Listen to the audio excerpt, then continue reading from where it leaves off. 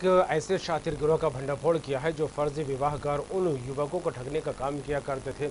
युवती के परिजन बनकर युवक युवती को मिलवाते थे और फिर युवक से अच्छी खासी रकम वसूलते थे और फिर दो दिन बाद विवाहित युवती को वहाँ से लेकर रफू चक्कर हो जाते थे।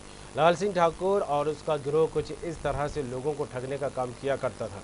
गिरोह का मुखिया लाल सिंह शादी करवाने के बाद उस महिला को उसका हिस्सा देकर दूसरे युवक की तलाश में जुट जाते थे। लालजी महिला का कभी भाई तो कभी पिता तो कभी मामा बन जाया करता था।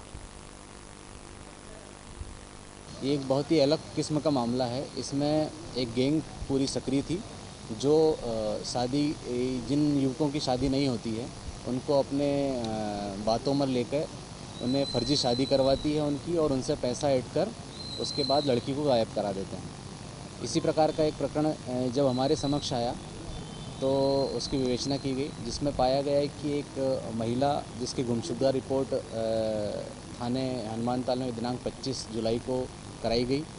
जब उसकी विवेचना की गई तो पाया गया है कि ये महिला 14 तारीख को यहाँ से तेंदुखेड़ा के लिए निकल गई थी।